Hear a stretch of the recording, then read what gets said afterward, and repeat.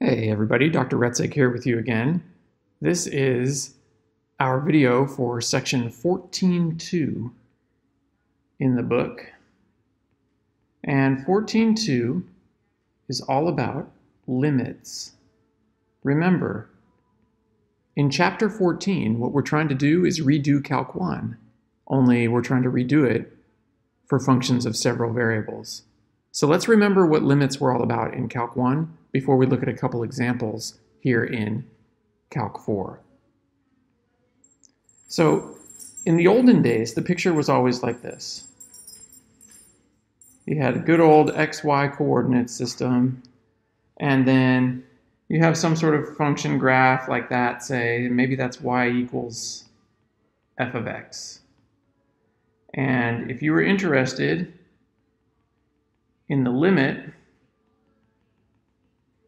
as x approaches a for that function, then in that picture, you'd be happy to say the limit as x gets close to a of the function f of x is L. So the picture's really pleasing. You look at it and you say, yeah, if you plug x values closer and closer to a into this function, then you get output values closer and closer to L. Now, this picture is the simplest possible case. This is where the function f is actually continuous at the point a, meaning the value right at a agrees with the limit as you approach a. So in that drawing, L is equal to f of a.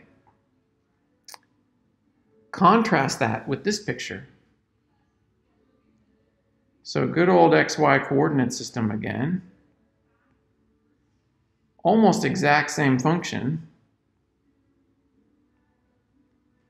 So that's y equals f of x, only this time there's a hole at a. And maybe the value right at a is up there. Now we're still happy to say that the limit in this picture as x approaches a of f of x is L, it's still true as you plug in inputs closer and closer and closer to A. From either side, the answers, the outputs get closer and closer to L. Still true, but what's no longer true is that L agrees with the value of the function right at A. The value of the function right at A is different from the limit. So this function is not continuous. So back in the day, we used limits to decide if functions are continuous or not. Continuity just meant value right at the point agrees with limit as you approach the point. So that was the story back in Calc 1. Okay, what we're going to do now is we're going to try to retell that story here in Calc 4. The functions involved in today's discussion are just going to be functions of two variables, but the leap from one variable to several variables is pretty much encapsulated by the leap from one variable to two variables. So let's look at an example. Okay, so here's our first example. Let's consider the function f of xy equals, and now it's a big ratio, so the numerator, let's have that be x squared minus 2xy plus y squared. And let's have the denominator be x minus y. All right, so this is a function of two variables. You plug in an x comma y, it will spit out some answer. Now, no one knows just with their eyes what the graph of such a thing looks like.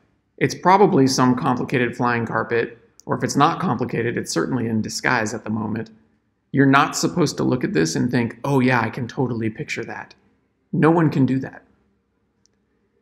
Now, you are supposed to look at this though and say, oh, okay, I can plug in any x comma y that I want as long as x and y are not the same. So we can draw the domain. So the picture we're about to draw isn't the graph of the flying carpet. It's just a picture of what x comma y's are pluginable.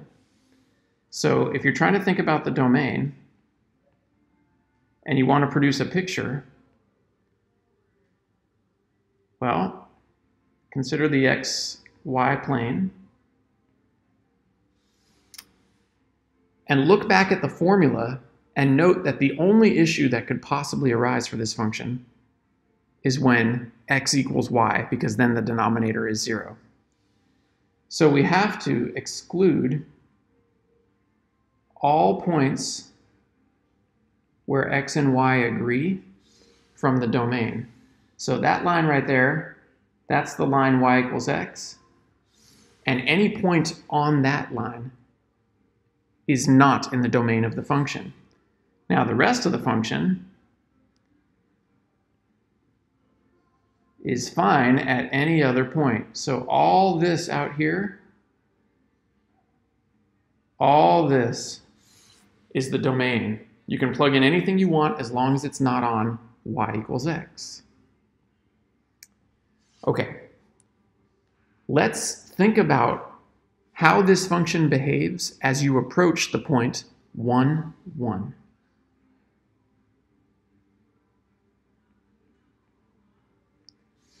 Now pause for a moment. If you're feeling like, I thought you said 1, 1's not in the domain. Oh, we did. 1, 1 is not in the domain. But you see how you can get closer and closer and closer to 1, 1 without leaving the domain?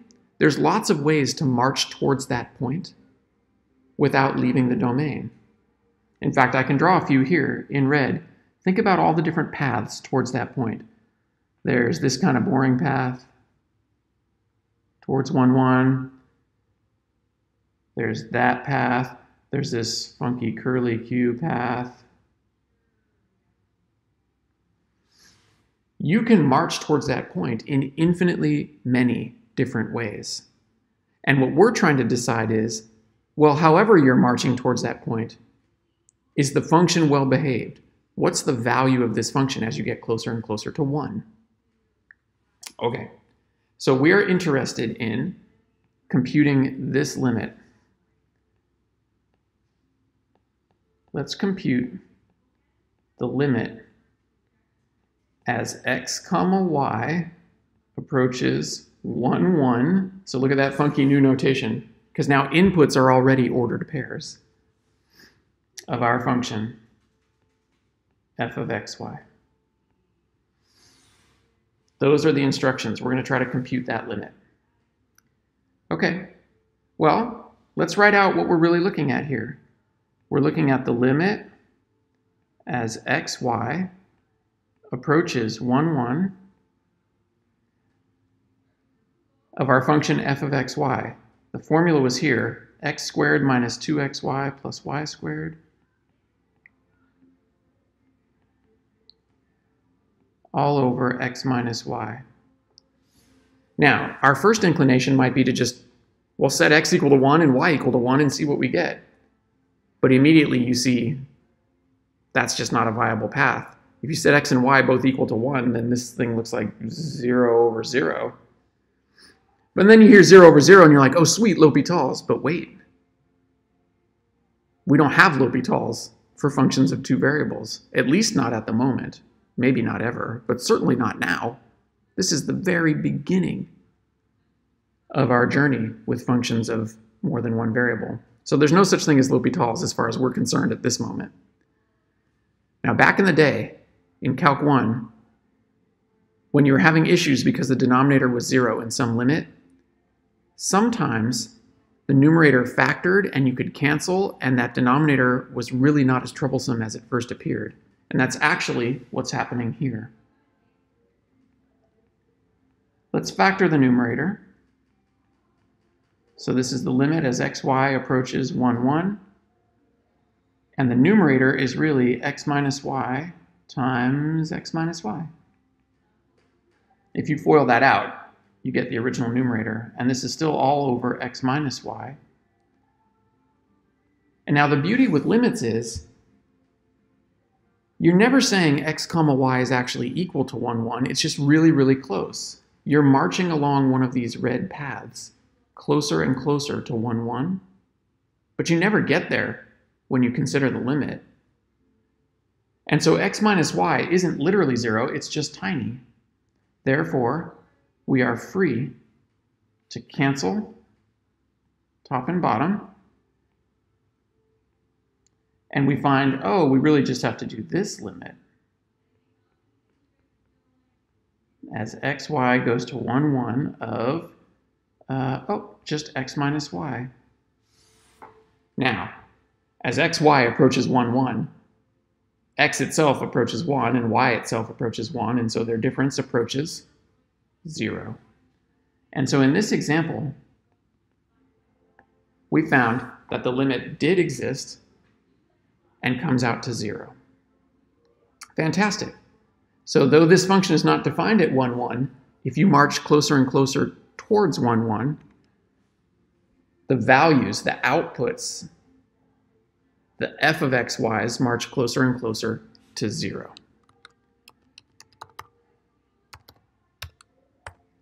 All right, so there's algebra involved when you're computing limits, just like there was back in the day. It's just a little more complicated because there's more than one variable. But at least on this one, the limit came out just fine. The limit was 0. Let's consider a second example which illustrates something a little more sinister. So the second and final example in this intro to 14.2 starts out quite the same, We're going to consider a function of two variables here.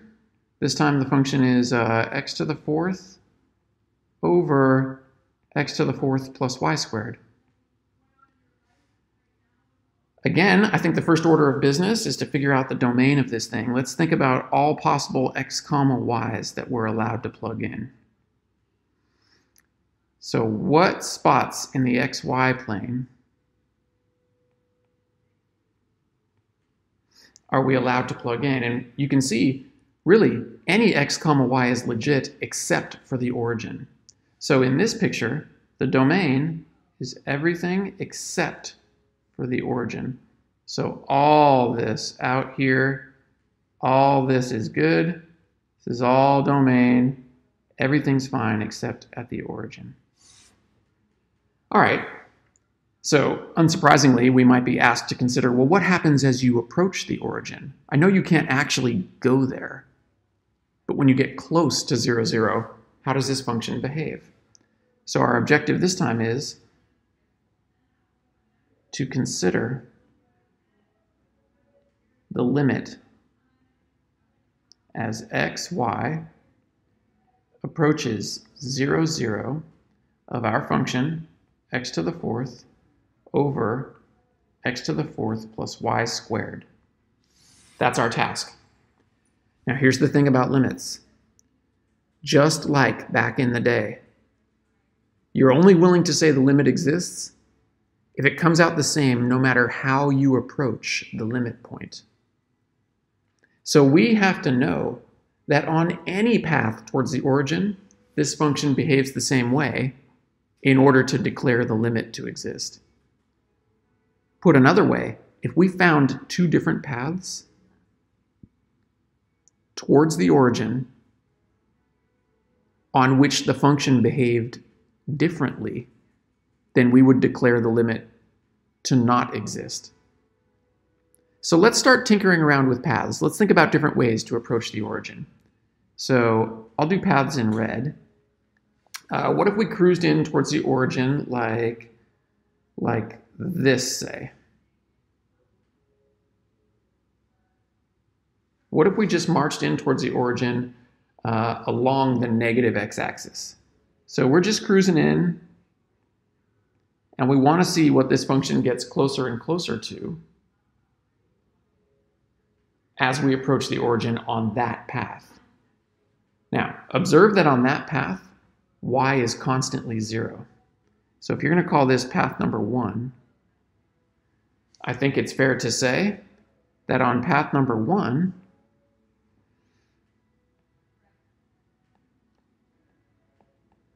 on path 1, we're really doing this limit. Limit as x comma 0 approaches 0, 0. And when y is 0, note that our function is simply x to the fourth over x to the fourth. And so that limit is easily seen to be 1. All right, consider a different path though. How about, how about on this path?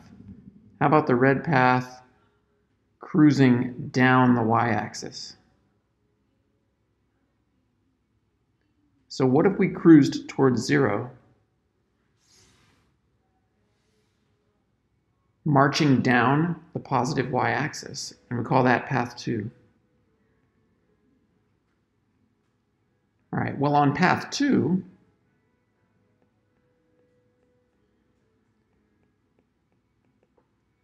it looks like we're considering the limit as 0 comma y approaches the origin, 0, 0. And when x is 0, look at our function. 0 over 0 plus y squared.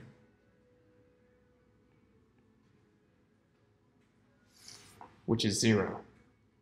So on path 2, the function approaches 0 as you approach the origin. But on path 1, the function approaches 1 as you approach the origin. So the limit as you approach the origin on whatever path does not exist because two separate paths gave two separate values. All right, I have a challenge for you to end this intro to 14.2. Here's a challenge in this example. Uh, find a path 3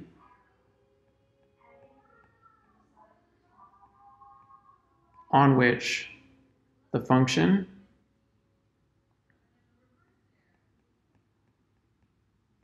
approaches a half. So yet a third path that disagrees with both the first two. In any case, this function definitely does not have a limit as x comma y approaches 0, 0 because it seems like the behavior of the function depends on the path you take. And that's really the gist in section 14.2.